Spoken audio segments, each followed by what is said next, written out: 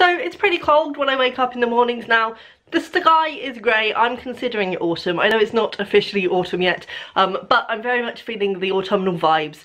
And along with the autumnal vibes, I kind of get the craving to read longer books. Now this is kind of a twofold situation because by this time in the year I'm nearing my reading goal for the year, so I think I'm two books away from the 100 book goal that I set myself.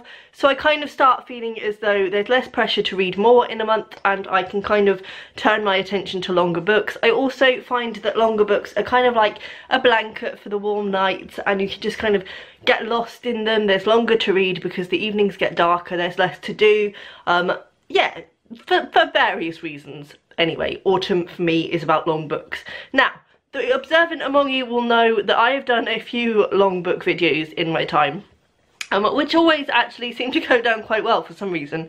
And admittedly, I have probably not read many of the long books that I've spoken about in any of those videos because generally I gravitate towards shorter books. Um, it's weird because I really love long books and it's like I went a few years ago through a period of adoring long books. Um, I read The Luminaries and then I think I read Great Expectations and I read I'm sure another big book in that same year that I really, really adored. Um, so I kind of went on a big book kick after that because I really loved the chance to get lost, especially in the luminaries. It was just such a captivating experience um, and it was so cosy and comforting and it lasted for so long. It was just nice.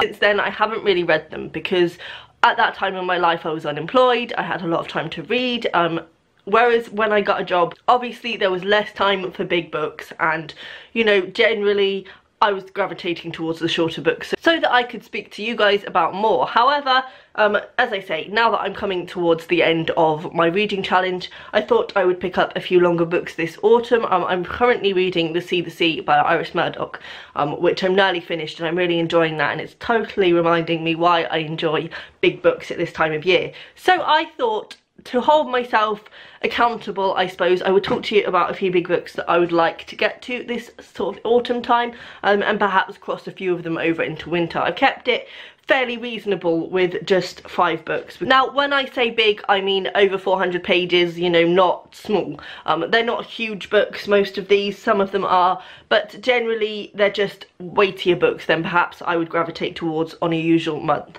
So Firstly, I have got The 13th Tale by Diane Setterfield. Now, Katie from Books and Things is hosting a read-along of this. I will post her announcement video in the Goodreads group down below. Um, and I have been wanting to read this for a long, long time. I know it's one of Katie's favourites, and me and Katie always have quite similar taste. But also, my mum read this when I was really young um, and she recommended it to me and I never got round to it because it was a recommendation from my mum and I was like it's clearly not going to be very good. But actually I, I, kind of regret that now. So I bought myself another copy um, because I'd given the other one away.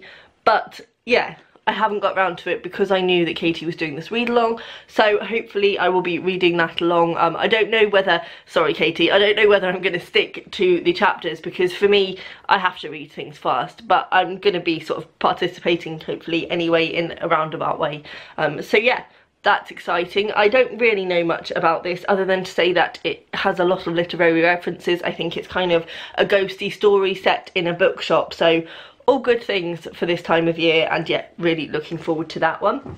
Then I've got a big book reread which has been on my wanting to reread pile for a very very long time and that is Jane Eyre by Charlotte Bronte. Um, annoyingly I I don't consider myself a fan of Jane Eyre because I read it and I really enjoyed reading the first half of it when I was about 16. It was kind of the first big classic I had tackled um, because I was doing English literature in college and I was suddenly like, I haven't read any of these people. Um, so I went on a bit of a, a spree, I suppose, and I really did enjoy the first half of it, but I think given that I was so new to classics, I wasn't used to the kind of slower pace of them, um, the wordier language, I don't know, it just kind of got on top of me and I put it aside for other things. And then I came back to it when I was 19 um, and annoyingly it had stayed really really fresh in my mind. I could remember that she was in the boarding school. I could remember everything that had happened um, which isn't often the case. So it is a very memorable book. Um, so I thought, you know what, there's no point starting again, I'm just going to read from the end. Um, so I read the second half, and I think that was the worst way I could have read it, because though I remembered all the key factors and there was nothing that I was missing, I could remember everything that had happened. I think when you read books in such a disjointed way, you kind of lose the pace of them, you lose the characterisation, you lose the, I suppose, commitment that you have to them. Um, so I just didn't care, I didn't really like it, I found the second half really boring and draggy. Um, I think absolutely my fault. So I bought this pretty edition and I'm been meaning to reread it for a long time and I think this is a good excuse to finally get to it and again I think it's kind of lovely and atmospheric so maybe a good one for darker evenings. Then I also have The Essex Serpent by Sarah Perry. Now I have spoken about perhaps reading this quite a few times um, and it's never happened. I think I had it on my TBR for some readathon that I did and I just never got round to it. Um, I'm pretty sure actually I've had it on my TBR for probably two or three readathons that I've done and never got around to it.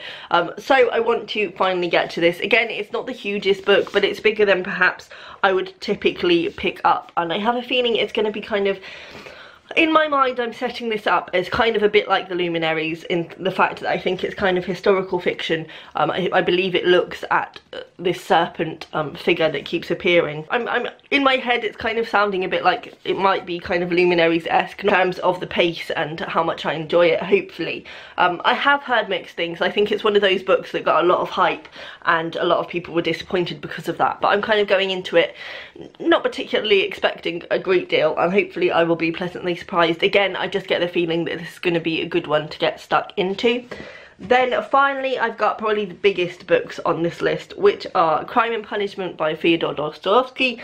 Um, I have wanted to read this for a very long time. I have to say these editions of books are my absolute favourite. The vintage classics Russian editions and they are just stunning. I don't, I just, I just love them as physical objects. I mean, they're beautiful and, and they've got lovely end papers. I mean, you just can't expect more from a book. But anyway, that's enough of me gushing about the edition. So I have wanted to read Crime and Punishment for a long time, especially since getting it in this edition.